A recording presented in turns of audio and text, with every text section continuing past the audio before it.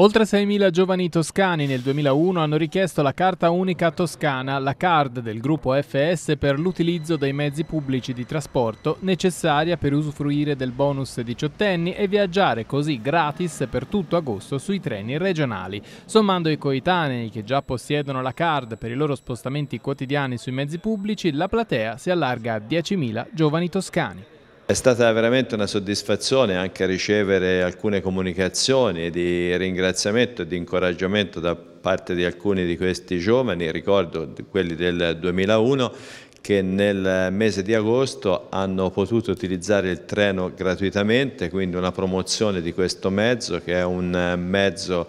assolutamente compatibile con l'ambiente e, e, quindi eh, siamo veramente eh, intenzionati a riproporla anche per il prossimo anno. Ora i ragazzi potranno continuare a caricare sulla card, che è nominale e strettamente personale, i loro biglietti o carnet di biglietti per il trasporto ferroviario e su gomma, un modo per incentivare la mobilità sostenibile e per favorire la conoscenza di tutti gli angoli di Toscana raggiunti dalle linee ferroviarie.